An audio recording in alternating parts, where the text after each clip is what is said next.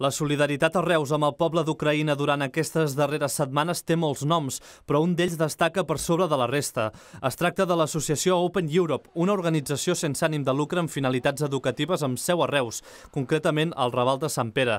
De fet, l'ajuda rebuda ha estat tan elevada que s'han hagut de traslladar una nau cedida al carrer del Boula, on classifiquen tot el que reben i carreguen furgonetes en direcció a Ucraïna.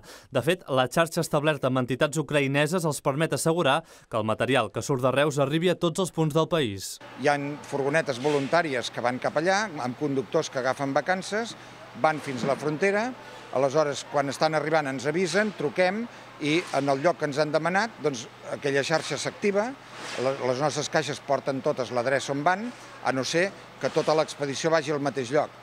Aleshores els diem on van i ja està doncs surten gent jubilada, dones, autobusos de, de transport escolar que ara no estan treballant, surten la frontera, carreguen tot, intercepten les furgonetes i van cap a dins. I les nostres caixes arriben en dos dies més a qualsevol lloc d'Ucraïna. Entrem a Kíev, a, a tot arreu, a qualsevol lloc. Blasi assegura que ja han perdut el compte del nombre de vehicles que han sortit en direcció a Ucraïna, però la tornada també és important. Nombrosos refugiats ja han arribat al camp de Tarragona gràcies als vehicles que tornen. Vull dir, no deixarem ningú que trobem pel carrer a nevant i a sota zero m'entens? Perquè li falti un paper per lo que sigui. Doncs el portem, l'acomodem en famílies, que estem demanant l'ajut a tots els serveis socials, però bé, quan comencin a funcionar les rodes, nosaltres deixarem de fer. Quan veiem que tothom es col·loca en un lloc adequat, ho deixarem de fer. Quan veiem que els convois humanitaris entren, nosaltres no tenim res a fer. Vull dir, però fins a aquell moment tot el que som aquí som voluntaris i venen d'instituts ajudants i ven gent de tots tipus que té unes hores i ens ajuden.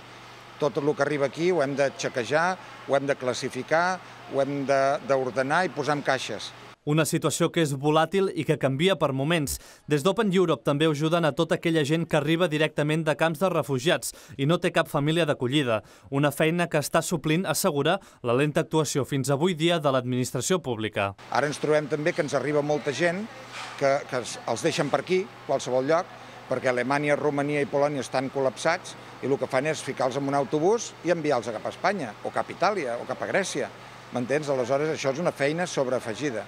Clar, nosaltres estem demanant constantment i cada dia, des de fa tres setmanes, que, que les coses funcionin, que ens diguin on els portem.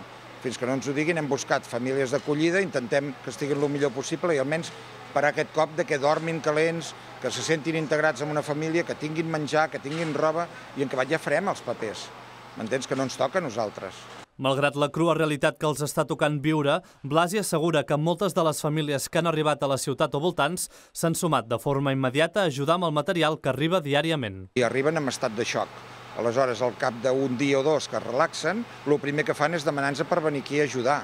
Ara mateix aquí, matí i tarda, sempre hi han famílies que ja han arribat que com no tenen res a fer, esperant que s'articuli el mecanisme de que puguin tenir permís de treball, m'entens? Doncs ens venen a ajudar a nosaltres, com a voluntaris. El director d'Open Europe també fa una crida a la col·laboració ciutadana de forma econòmica a través d'un compte corrent que s'ha obert per recaptar fons, principalment per costejar la benzina dels viatges.